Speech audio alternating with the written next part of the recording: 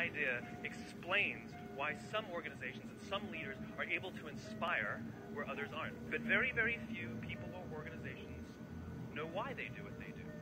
By why, I mean what's your purpose, what's your cause, what's your belief. Why does your organization exist?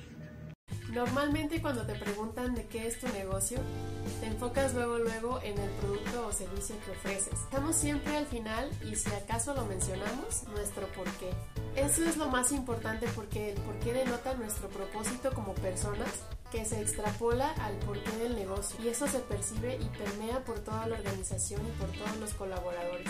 Yo te invito a identificar cuál es el porqué tuyo como persona y después cómo vas a traducir ese propósito tuyo a un producto o servicio que le pueda ayudar a más personas. Así, tu negocio se convierte en un vehículo para entregar tu valor personal.